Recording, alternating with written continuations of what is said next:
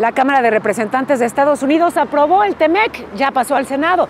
Manuel Bartlett, director de la CFE, no incurrió en ningún conflicto de interés o enriquecimiento ilícito, es lo que informó ayer la Secretaría de la Función Pública, luego de todas las denuncias sobre sus empresas y propiedades. Resulta que son de sus hijos y su novia. La Unidad de Inteligencia Financiera investiga la triangulación de recursos en el sexenio de Enrique Peña Nieto y congela cuentas a Cárdenas Palomino.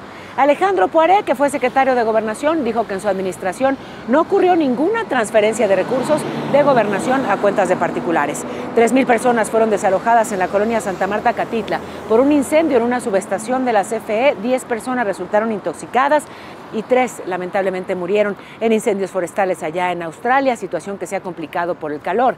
El Papa y el líder de la ONU, Antonio Guterres, grabaron un video juntos, denuncian las injusticias y las desigualdades, piden atenderlas, sobre todo, claro, en estas fechas en estas fechas navideñas, ¿cómo que estás de Grinch, mi Brody? Odio la Navidad. ¿Cómo que odias la Navidad si siempre te ha gustado? Aquí Mira, Pancho. Panchito, tu perrito es testigo de que sí te gusta la Navidad.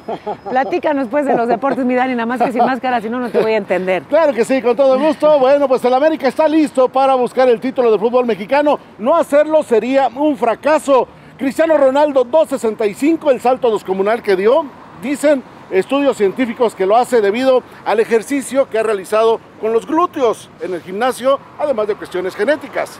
Sí, hay que hacer en el gimnasio mucho glúteo para brincar como Cristiano Ronaldo, salto descomunal. Julio César Chávez Jr. reaparece este sábado después de dos años de inactividad contra Daniel Jacob, una pelea de preparación solamente, Pau. Muchísimas gracias, mi Dani. Y gracias, Pancho, qué bien portado, qué perrito bien portado. Miren, lo va muy navideño. Hola, Pancho.